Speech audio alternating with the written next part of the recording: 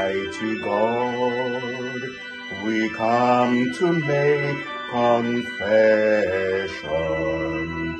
for we have sinned in thought and word and deed.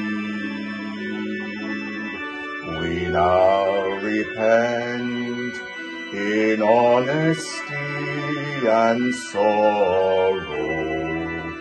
Forgive us, Lord, and meet us in our need. Forgiving God, I come to make confession of all the harm and hurt that I have done, of bitter words and many selfish actions. Forgive me, Lord, and make me like your Son. Forgiving God, I come to make confession